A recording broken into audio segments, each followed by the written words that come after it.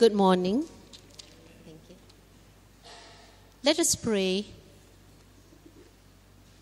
Lord, open our hearts and minds by the power of your Holy Spirit, that as the scriptures are read and your word is proclaimed, we may hear with joy what you say to us today. Amen. Scripture reading today is taken from 1 Peter chapter 2 verses 11 and 12. Dear friends, I urge you as aliens and strangers to the world to abstain from sinful desires which wage war against your soul. Live such good lives among the pagans that though they accuse you of doing wrong, they may see your good deeds and glorify God on the day he visits us. This is the word of the Lord. Thanks be to God.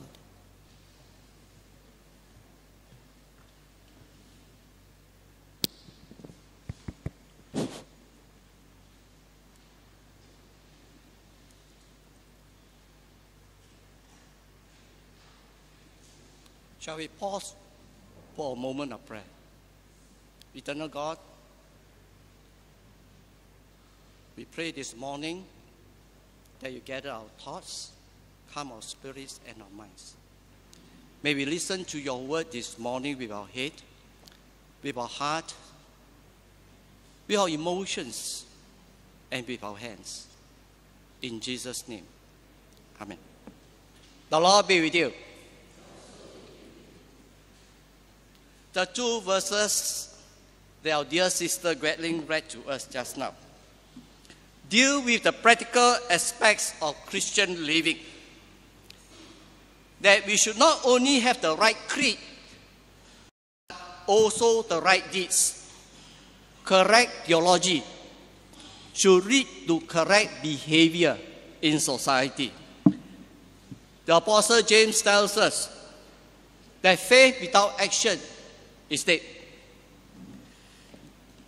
In Peter, verse 12, the verse that was read to us, the Apostle Peter calls on Christians during his time to live in such a manner that the majority pagans in his society, in their society, may see their good works and glorify God in heaven.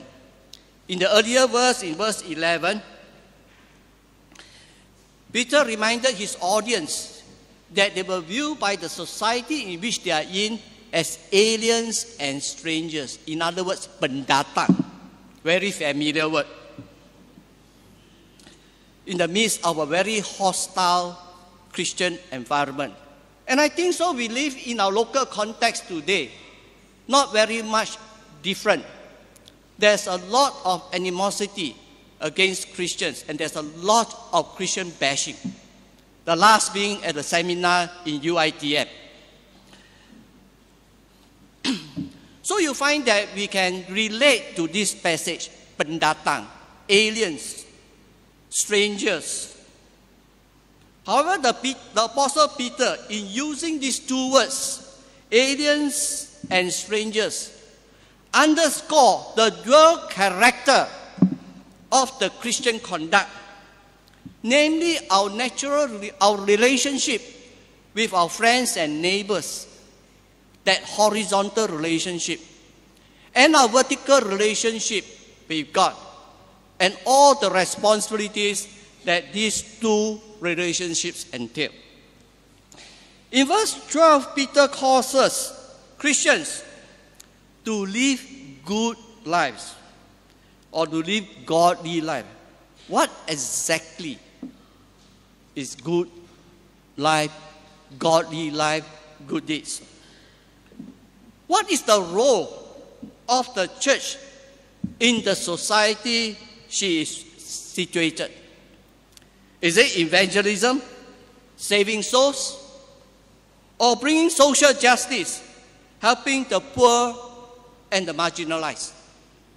Billy Graham, the great evangelist of our century, says that evangelism and the salvation of souls is the vital mission of the church.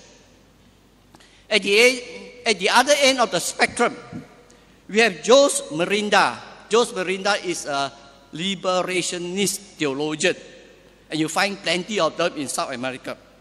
And he said this God is knowable exclusively in the cry of the poor.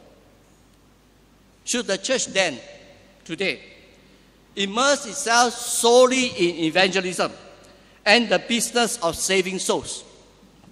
Or should the church be involved in structural social reforms, political reforms, and fight for justice for the poor and the marginalized? To find a meaningful and a balanced role of the church, and for us to stay relevant in today's context and even in this local context, we need to go back to the basics. To ask ourselves, what is the gospel? What does salvation mean to us? Is it more biblical for us to say that the gospel is good news for the forgiveness of sin through Jesus Christ's death on the cross? Or the gospel is good news of the kingdom of God, which the Old Testament prophets foresaw in the person of Jesus Christ, creating a realistic society today. Christians are divided. We have various and diverse convictions to these two questions. From the very evangelical, that is stressing vertical relationship with God, which emphasizes saving of souls, to the liberationist position, the horizontal position in our relationship with men, where salvation is primarily realized in the revolutionary overthrow of imperialistic capitalism, so that the poor may have equal share in the country's wealth. The key to these questions, I would say, for the church today, is not to dwell at these two extremes, but to listen to the voice of the prophets in the Old Testament, to listen, to see the works, the deeds of Jesus Christ in the New Testament. The gospel of Jesus Christ is good news, is undeniable, at least to all of us, to the Christian community. But to limit that this good news is only the spiritual aspect of forgiveness of sin and a ticket to heaven. I think that is great injustice in the interpretation of scriptures. Jesus died on the cross to set man free from sin and all that sin entails. He brings liberty to the captives and freedom and sets the, the prisoners free. Free from spiritual, societal, and economic bondages that enslave society since the day Adam was kicked out of the Garden of Eden. At his birth, Jesus broke into human history, ushering in the kingdom of God, a kingdom in which the Old Testament prophets foresaw and foretold. One in which they foresaw relationships between man and God, man and man, man and nature fully restored. And this was the messianic hope of the prophets of old. Jeremiah in Jeremiah 31, verse, 1, verse 31 to 34, shows that the right relationship with God is the center of this messianic hope. That God will remember our sins no more. Verse 34, let me just read 34. And no longer shall each one teach his neighbor and each his brother saying, Know the Lord, for they shall all know me. From the least of them to the greatest, declares the Lord. For I will forgive their iniquity and remember their sin no more. the prophets of old foresaw a restored relationship between God and man. Equally important is that ringing declaration found that the Messiah will also restore relationship with man and his neighbor, with man and man. And in Isaiah 2 4, the prophet says, In the last days, i.e., messianic times, the times where Christ reigns, they will beat their swords into plowshares and their spears into pruning hooks. The parallel passage in Micah 4 4 foresaw a productive, just economic order. they shall all sit under their own vines and under their own fig trees, and no one shall make them afraid. No more economic exploitation. Isaiah 42, verses 1 to 4, further expands it to include not just individual hearts and individual relationship with a few neighbors, but that the whole social order will be transformed. 42 verse 1, I'll read part of it. Isaiah 42 verse 1. I will put my spirit on him, and he will bring justice to the nations. Verse 4 He will not falter or discourage till he establishes justice on earth. This is the messianic hope of the Old Testament Christian. In short, there will be no more economic exploitation, be it powerful nations dictating unfair trade practices to underdeveloped nations, or multinationals exploiting their migrant workers. This, of course, will bring much hope to many migrant workers, including those within our shores and within even our church community. No more will we see the current situation where 20% of the world's population consumes 80% of the world's resources.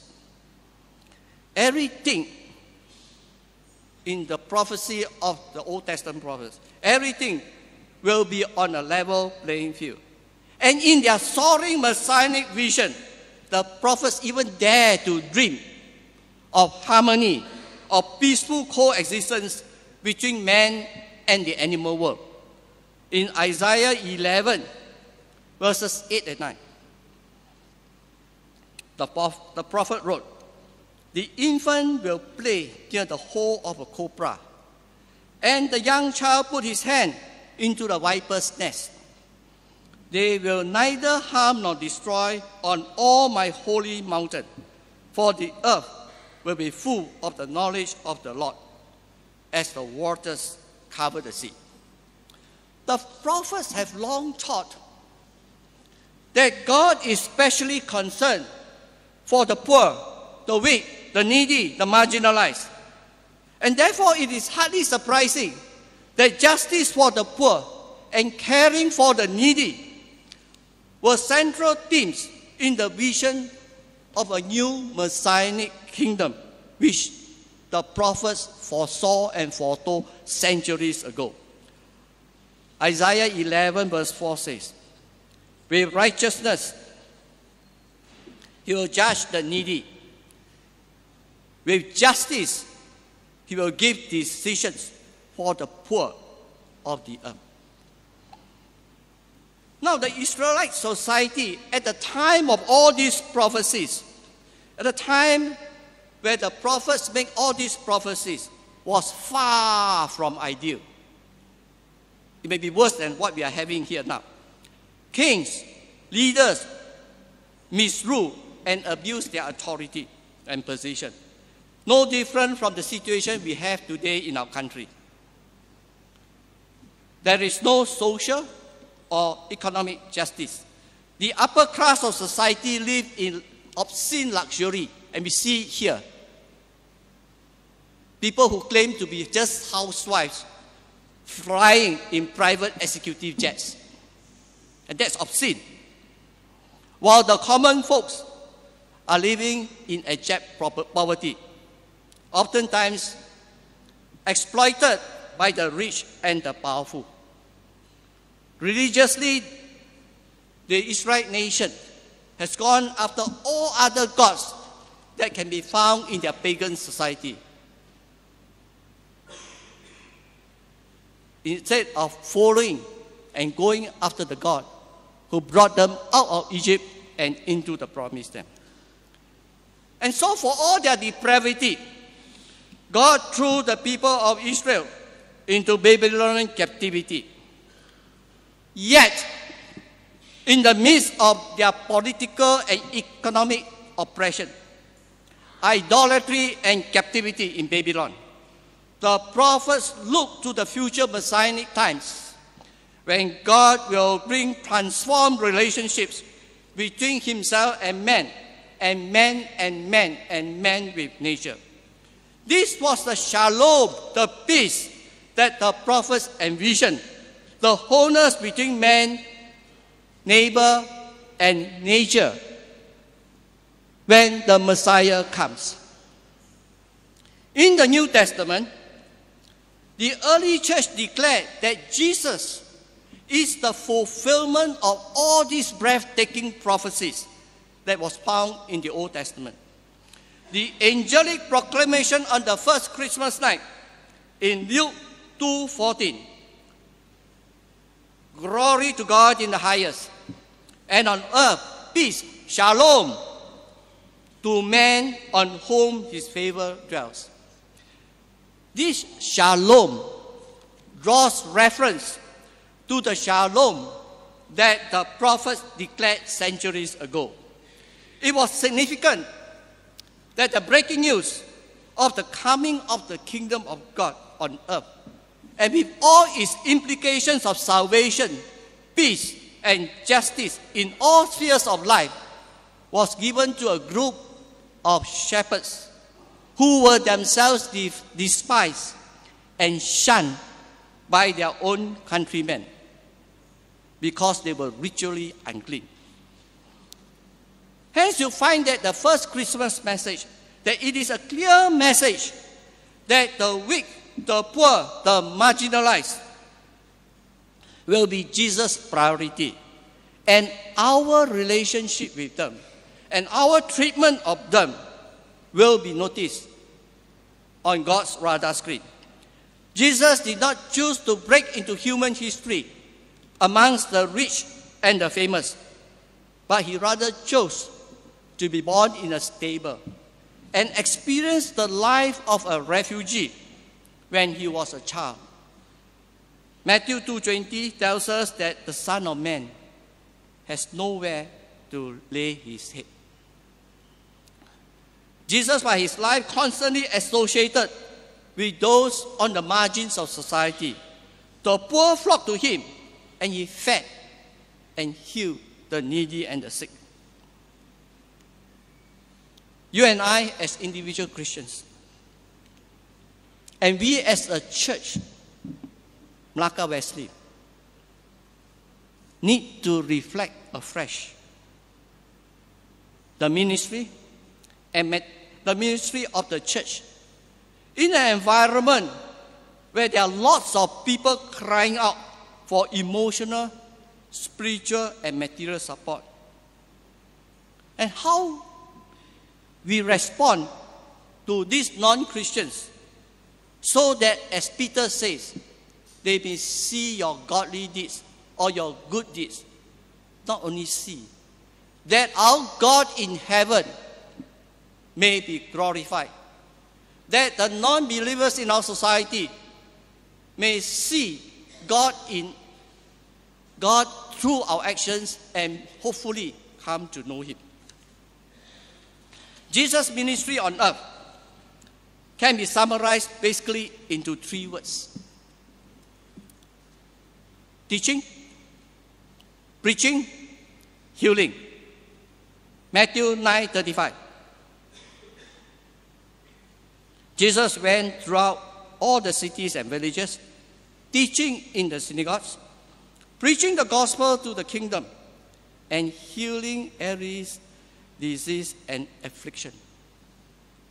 Jesus ministered to whole persons, sick bodies, broken spirits, disrupted relationships with God, all received his healing touch. Jesus modeled what he taught. He not only announced the arrival of the Messianic era of shalom and justice to the poor and oppressed, he also fed the hungry and welcomed the socially ostracized into his new community of friends.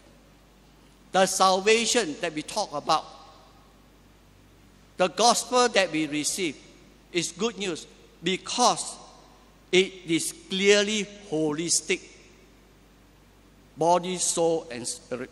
It ministers to all areas. Yes, our salvation brings forgiveness of sin and inner sanctification by the power of the Spirit. But it challenges you and I as individual Christians and as a church to change social order by our behavior and our actions. The gospel impacts the soul and body, individual and society.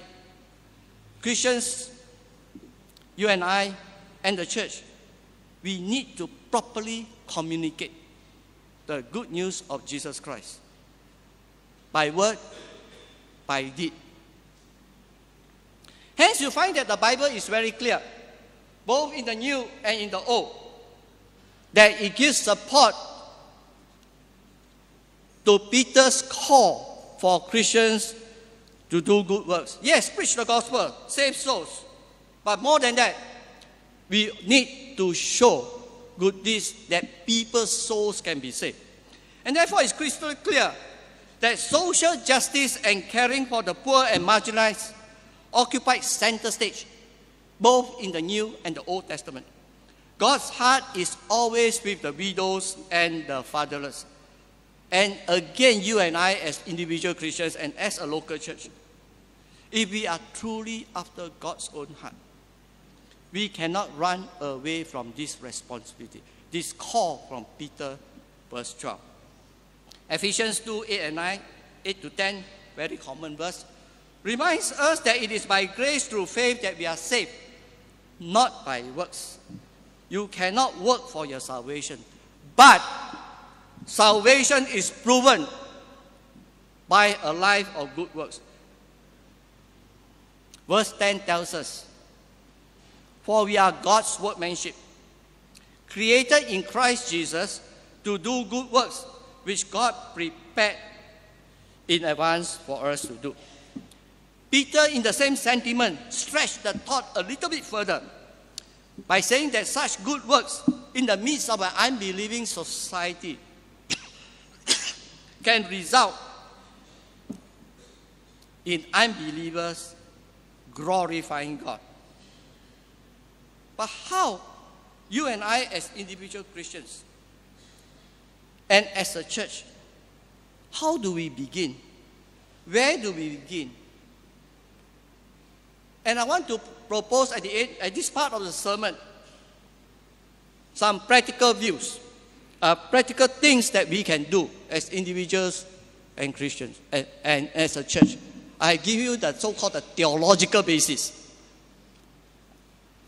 Okay, let me say first of all that Good works can be done individually, a standalone action.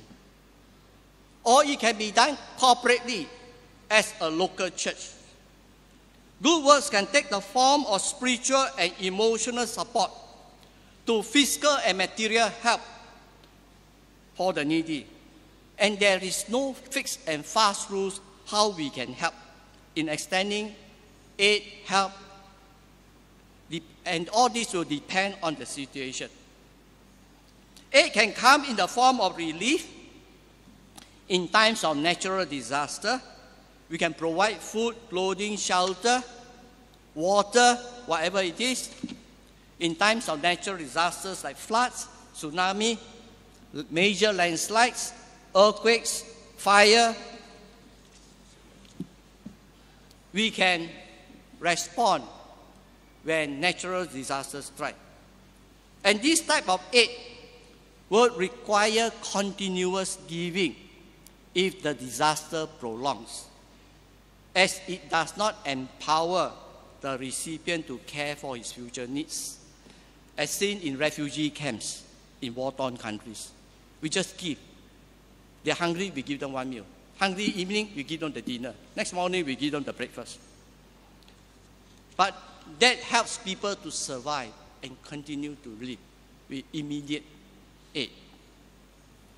Another type of aid that you and I can give, and I know Christians are involved, individual and through organizations, is to provide individuals and communities with appropriate tools, skills, knowledge, so that they can care for themselves in the future. Providing them with microfinancing to start small businesses, or helping them to dig wells, or constructing better irrigation system so that their farms can produce, can be more productive, or even helping their children, giving their children a proper education. And we see this being done through organizations like Asian Outreach, Malaysian Care, Open Doors, World Vision, just to name a few. This type of aid will help people to be self-sufficient economically, whereas the earlier aid will only prevent starvation and death. There's a third and a very important way in which we can help the needy, and that is maybe for some people, participation in politics can help to bring about structural change to create a fairer society by creating greater freedom, democracy, economic justice, and environmental sustainability. And I think we see a new crop of politicians in our local context who have realized and have answered that call. The church cannot be silent when social injustice and exploitation of the poor is rampant in society. We need to have more people like the late Irene Fernandez, who gave her life for migrant workers. She was threatened with all sorts of funny laws that only Malaysia has. And she survived. Christians must involve themselves in the legislature and public life to bring about fairer laws and practices in the public domain. The church cannot separate itself from politics. There's no such thing called separation of state and church. Because the church must speak up against social evil and social injustice. And social evil and social injustice has its roots in corrupt politicians with their corrupt practices in a corrupt system. And therefore, the church must be involved. Of course, maybe lawyers are better at this. Coming back in our local context, English speaking churches in Malaysia are mostly middle class or upper middle class, Wesley Melaka included. We have been too long maintaining our status quo by coming to church every week and then going home, oftentimes oblivious to the needs around us. We need a paradigm shift to practice our faith outside the church instead of just within the church compound. Their needs around us are tremendous. Migrant workers, people who are stuck in the low income poverty cycle, those with physical abilities, the sick, and those facing life threatening diseases, the elderly, and particularly those who do not have relatives to care for them. The list goes on. What is our response as individuals and as a church? Let me be very realistic at this point. I'm not suggesting that we are going and get involved and, uh, and uplift and solve all the social evil in this world, or in Malacca, or even within our church compound. The job is just too big for individuals or even as a corporate body as a church. It is an impossible task because the mission is too big for any organization. We recognize that as a church, Wesley Malacca, we do not have all the expertise, manpower, money, time, or energy. Furthermore, we have our own families to take care. We have our jobs. And both of these are our primary calling. Therefore, you take all these things into consideration. We have to realistically admit that we have very little time, we have very little money, we have very little expertise to launch into any large scale work to do good deeds, especially amongst the pagan society we are in. But that does not excuse the church and you and I as Christians for not doing anything. We are reminded that we are saved to do good works. And James solemnly reminds us faith without action is dead. A faith that is not reflected in our behavior, in, in society, at home, or a place of work, is not genuine faith.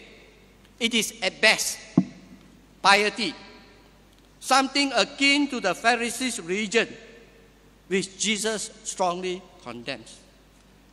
Going to church on Sunday alone is not faith or trust in God. It is the, just the misplaced idea of buying spiritual insurance without paying any premium. And therefore, it doesn't give any coverage judgment day. Matthew 25, 31 to 46. I will just read from 35 because these verses give us some sobering thoughts, especially to us who are economically well off Christians. Jesus said? For I was hungry and you gave me food, I was thirsty and you gave me drink. I was a stranger and you welcomed me. I was naked and you clothed me. I was sick and you visited me.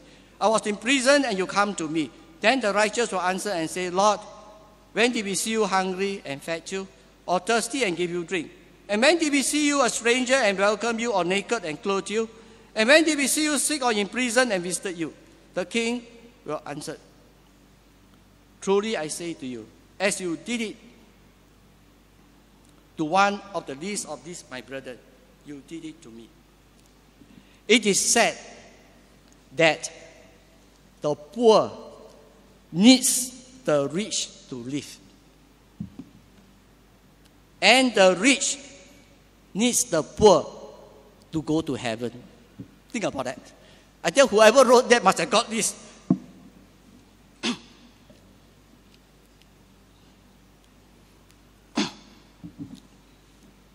so you find that do we must The poor needs us. We acknowledge that we cannot do a lot of things. But Peter tells us good needs we need to do.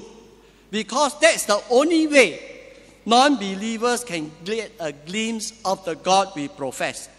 Unbelievers are not coming to church to find out who this God is.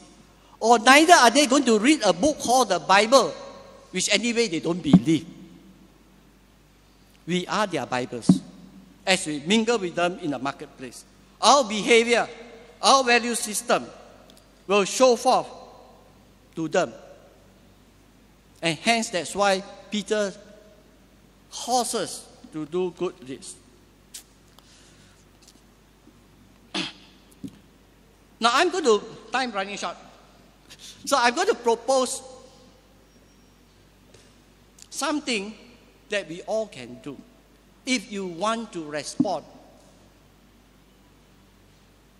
to Peter's verse in verse 12. Take small steps, do small things, but must have passion and compassion for what you plan to do. I'm going to propose that if you, I know some of us are very involved in some work, but if you haven't, I'm going to propose that you look around us be it within the church compound or outside the church compound or further. Look for someone, just one person whom you think so in need.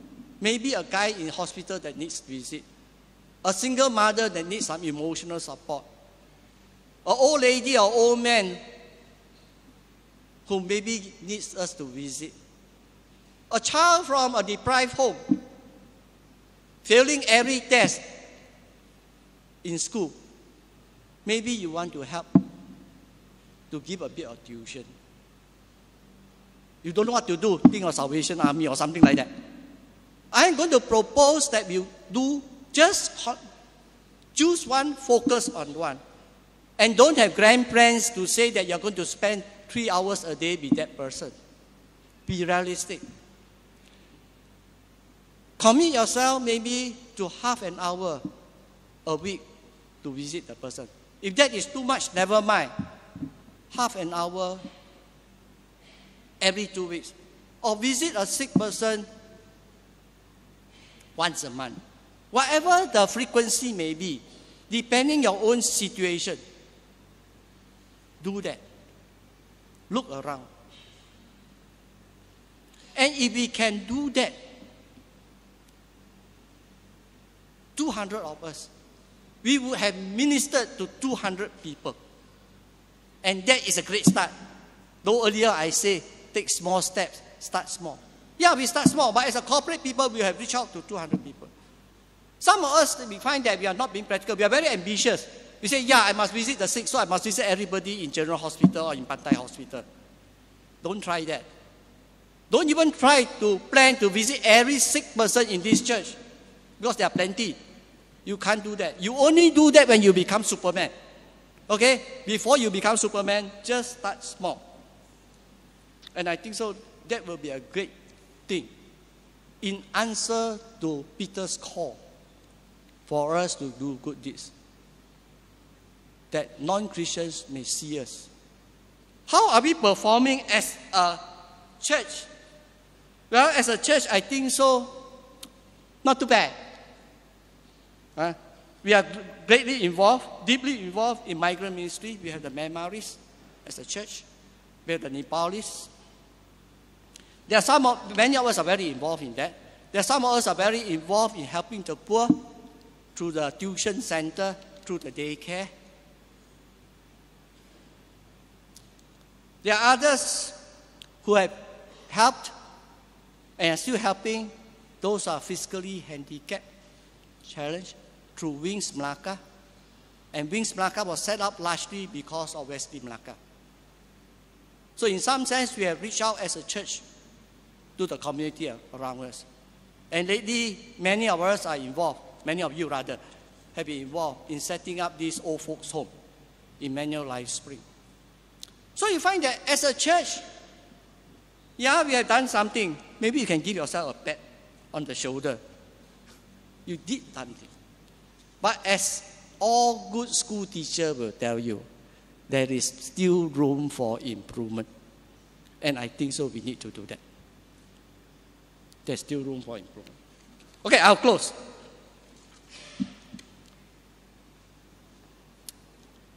Now, Methodism place great emphasis on social holiness or outward holiness. I think the second last one there. Simply means a holiness that is visible through our life, through our actions. Holiness is not a halo around our head, or as misunderstood in the first century by the ascetics, where they forsook the world and go into the desert. Or later on, as seen in monasticism, where people separate their world, their, themselves from the world to live in the monasteries. A holy man or holy woman of God is one who lives by the precepts and commands of God in relationship not just to God, but also to society at large. Our holiness, our spirituality is not defined by separation from the world, but by impacting the world with godly deeds and goodly deeds, and by our behavior and actions. And this is most profoundly seen in our treatment of the poor, the needy, and the marginalized. And I think so that we can all begin consciously by setting a little bit of time, as I propose, to reach out to somebody who are in need. While throughout this sermon, uh, I have placed great emphasis on the materially poor. So also the scriptures. There are also lots of many wealthy people who are emotionally, socially, and spiritually poor. Zacchaeus was a wealthy man, but socially and spiritually he was bankrupt before his encounter with Jesus. So also was the rich young ruler who came to see Jesus. Rich people also face sicknesses. They also sometimes face terminal illness. They also need the touch of God and the comfort of scriptures. So it's my prayer, my hope. As I speak to you, I speak to myself also. That in small ways, we may respond to 1 Peter 2:12. To do our little bit that hopefully non-believers may see God in us, may see the Bible, or rather read the Bible in us, and hopefully they may be drawn into the kingdom of God. Shall we pray? Eternal God, our Heavenly Father, we thank you for your word. Father, we want to pray, Lord, that you will help us to listen to your word. And not only to listen, to take heed and to act upon it, as the Apostle Peter reminds us. Lord, we thank you for this hour of worship in Jesus' name. Amen.